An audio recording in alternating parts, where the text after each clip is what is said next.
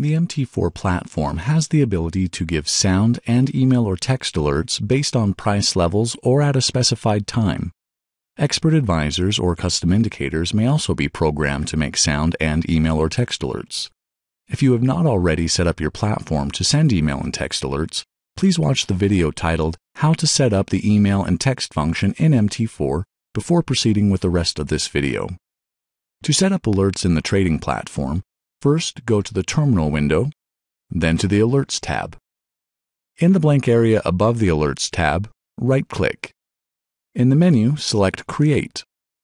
The Alert Editor window will open. Select the Enable box. Select an action, sound or mail,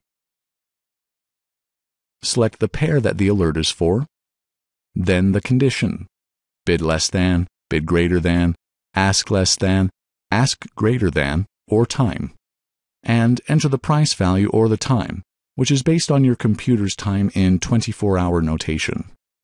The maximum iterations setting determines how many times you would like the alert to sound or the number of messages to be sent. The timeout is the amount of time between iterations between sounds or between messages being sent. For example, if you have selected 1000 iterations with a timeout of 10 seconds and your alert triggers, you will receive 1000 emails, one every 10 seconds. So be careful when selecting your iterations. Because a buy trade opens at an ask price and closes at a bid price, for a take profit level on a buy trade, usually you will want to use the bid greater than option and consider setting the value one point below your actual take profit level. For the stop loss level on a buy trade, you will usually want to use the bid less than option and consider setting the value one point above the stop loss level.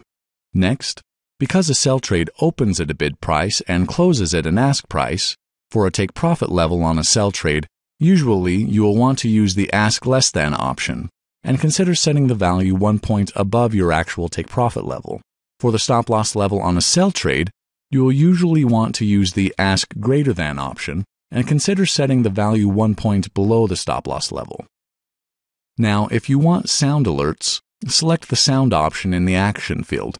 You may select from several audio files that come with the trading platform to make different sounding alerts. You may assign one sound to mean one thing and another sound to mean something else. To select a different sound, just click on the button with the ellipsis at the right side of the source field, and a window with a selection of audio files will open. Left click on the file in the list you want, then select Open. If you would like to hear the sound before setting the alert, press the Test button. Be sure your speakers are on and the volume is turned up so you can hear it. If you want an email or a text alert, select the Mail option in the Action field. Now, the source field becomes the subject line of an email. If you need more room for additional text, click on the button with the ellipsis at the right side of the source field and an email message window will open, providing you with additional space for your message. After you have completed writing your message, click on the Send button. This will not actually send anything, it's just how you close the window to get back to the other settings. If all the other settings are as you would like them to be, select OK.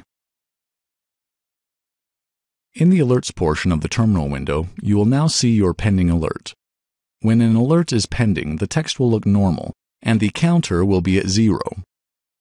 When an alert activates, the text becomes bold, and the counter begins to increase with each message sent or alert sounded, up to the amount you set as your maximum iterations, which is shown here as the limit.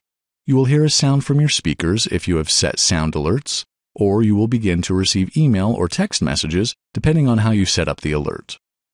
More information about the alert function can be found by going to Help, then to Help Topics.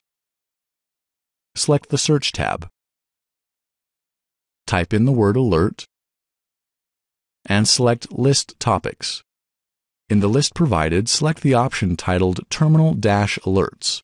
The information will open to the right. You are now ready to begin using alerts.